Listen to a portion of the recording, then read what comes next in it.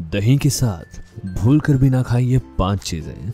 देखिए दही खाना दोस्तों हमारे शरीर के लिए बहुत फ़ायदेमंद है। इसमें कई तरह के वाइटामिन मिनरल्स कार्बोहाइड्रेट्स और प्रोटीन पाया जाता है। लेकिन आयुर्वेद के अनुसार कुछ ऐसी चीज़ें होती हैं जो हमें एक समय पर एक साथ नहीं खानी चाहिए। जैसे लंच में हमने दो चीज़ें एक साथ खा ली, है ना? फिर ऐसा होता है कि हमारे शरीर में स्वेलिंग होने लगती है।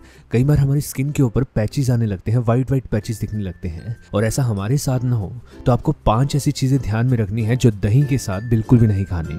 पहली चीज़ की बात करते हैं, वो है दोस्तों तरबूज। ध्यान रखना है दोस्तों आपको कभी भी भूल कर भी दही के साथ तरबूज नहीं खाना। इससे बेहोशी तक हो सकती है और दूसरा आपके शरीर के किसी भी हिस्से में स्वेलिंग आ सकती है।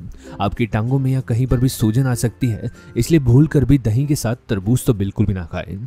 दूसरी चीज़ आपको ध्यान रखनी है कि आपको दही के साथ मछली नहीं खानी। आपकी स्किन पर व्हाइट व्हाइट पैचेस हो सकते हैं, त्वचा पर आपके सफ़ेद रंग के धब्बे आ सकते हैं। दूध हो या दही हो, दोनों के साथ आपको मांस मछली ऐसी चीज़ों का सेवन नहीं करना, क्योंकि बाद में आपको इससे पछताना पड़ सकता है।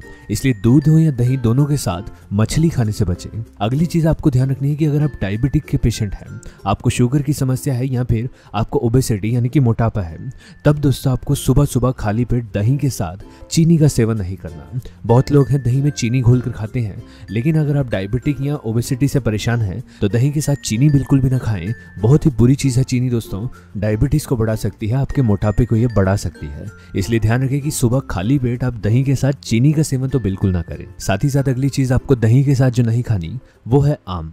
दोस्तों, आपने बहुत सारे लोगों को दही के साथ आम खाते हुए देखा होगा, लेकिन दोनों की तासीर अलग अलग है। दही तासीर में ठंडा होता है और आम तासीर में गर्म होता है। इसलिए विपरीत तासीर होने के कारण ये हमारी पाचन क्रिया को असंतुलित कर देते हैं, जिससे पेट में दर्द होने लगता है, टॉक्सिन्स की मात्रा बढ़ जाती है। साथ में दही के साथ आपको कोल्ड ड्रिंक नहीं पीना है।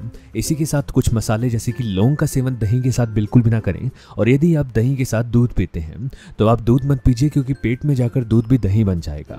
ये सभी चीज़ें आपको ध्यान में रखनी है। इस इन्फॉर्मेशन को आप ज़्यादा से ज़्यादा शेयर करें, सभी लोगों तक पहुँचाएँ। बहुत ही ज़रूरी इन्फॉर्मेशन है और वीडियो अगर अच्छी लगे तो लाइक कर दीजिए और चैनल को सब्सक्राइब कर लें। वीडियो को देखने के लिए धन्यवाद।